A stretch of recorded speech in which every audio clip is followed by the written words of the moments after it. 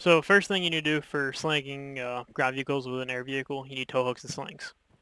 You can buy them from Black Market, Rebels.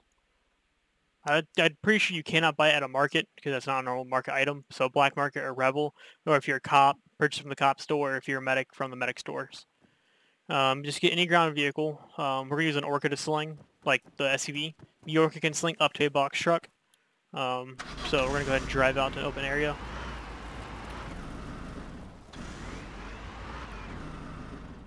What you need to do is unlock the vehicle, go to your inventory, click on slings and click use, and then unlock the vehicle again so no one can take it. You have slings on there now. Pull your air vehicle that you wish to sling, so I'm going to use the Orca. If it ever, you know, loads. Alright.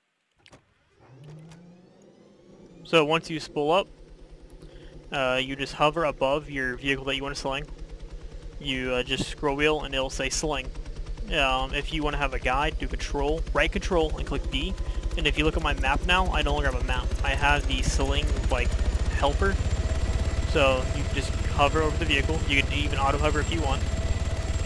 Click uh, the thing, and it'll, like, it'll show a percentage of attaching and add a little crosshair. And it hooks. You take off and you sling that way. Now, if you see the little, like, oop, I forgot this is tier 4.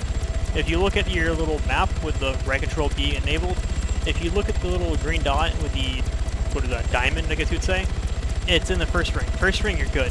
You can go all the way, go as fast as you want, all the way into the second ring. Once it exits the second ring, the sling will break and the vehicle will like start go flying.